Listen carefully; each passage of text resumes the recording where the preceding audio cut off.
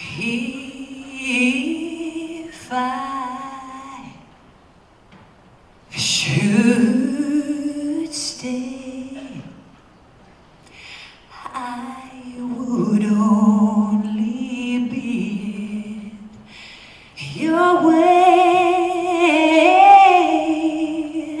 So I go, but I